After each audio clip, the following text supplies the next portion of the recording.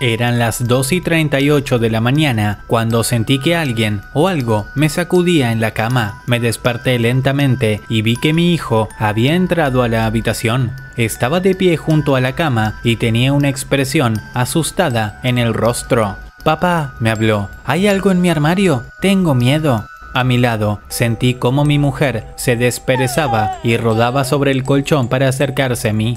¿Qué ocurre ahora, cariño? me preguntó. Yo reí suavemente, sin alarmarme por lo que había dicho mi hijo. Tal parece que tenemos un monstruo en el armario, le contesté, logrando que me sonriera somnolienta. Oh, eso es algo nuevo, dijo ella, antes de tenderle los brazos al niño. Ven conmigo, amor, deja que papá se ocupe del señor monstruo, mientras estás un rato en la cama con mami. Salí de la cama con lentitud, mientras mi hijo se metía debajo de las sábanas. Vi que ella se disponía a dormir de nuevo y le solté una broma. ¿Segura que no quieres acompañarme? Tal vez entre los dos podamos vencer al monstruo. No, sé que tú solo puedes con él, y si no regresas, bueno, al menos fuiste un buen marido.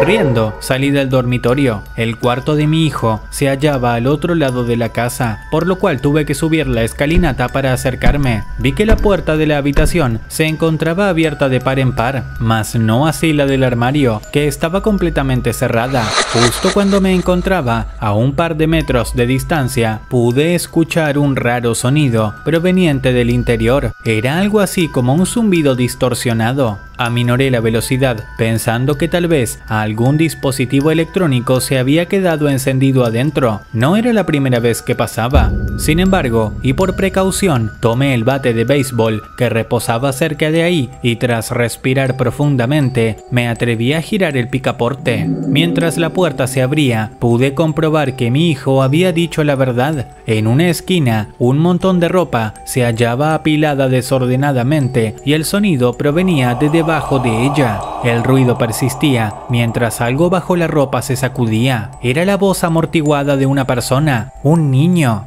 Apretando el bate con fuerza y dominado por el miedo, comencé a tirar lentamente de las prendas, incluso cuando el sudor bajaba a raudales por mi frente.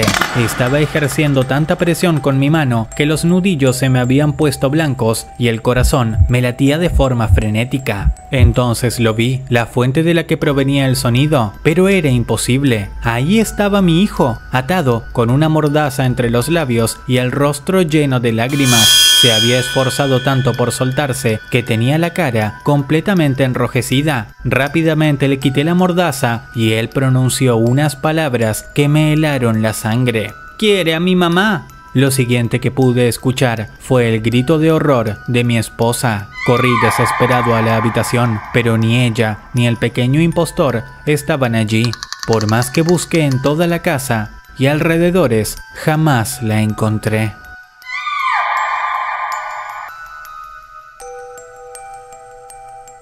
Si el video te gustó y quisieras ver más contenido como este, suscríbete y activa la campanita incluyendo todas las notificaciones.